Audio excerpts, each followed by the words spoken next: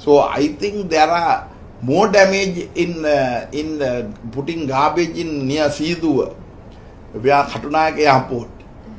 The actually uh, the Rolls Royce engine uh, the makers came to Sri Lanka for some other matter, and I met them in the British uh, High Commissioner's residence.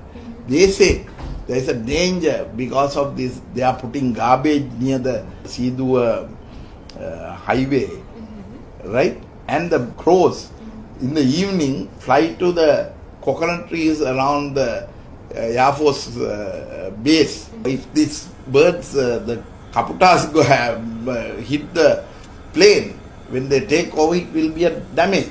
So that is the damage uh, uh, to the even for the airplanes. Anybody who comes to Sri Lanka after uh, uh, four years, they have come here and they see the change.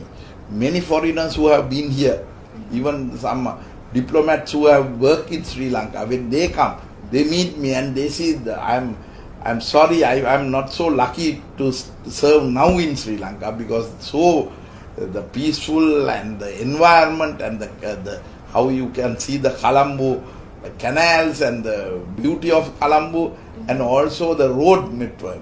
So always they were talking.